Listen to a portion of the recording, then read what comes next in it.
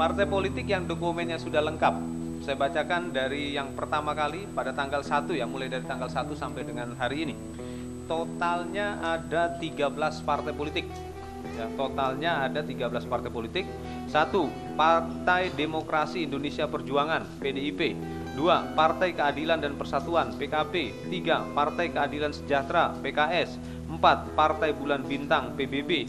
5. Partai Persatuan Indonesia Perindo 6. Partai Nasdem 7. Partai Kebangkitan Nusantara PKN 8. Partai Garda Perubahan Indonesia atau Partai Garuda 9. Partai Demokrat 10.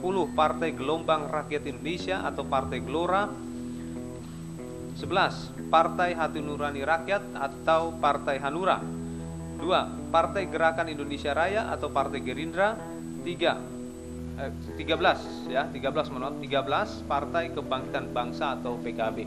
Jadi total dari 18 pendaftar, 13 parpol kami nyatakan dokumennya lengkap dan dan bagi 10 parpol saat ini sedang mengikuti tahapan verifikasi administrasi dan khusus yang pada hari ini baru daftar tiga parpol yang kami nyatakan lengkap baru esok hari akan mengikuti verifikasi administrasi.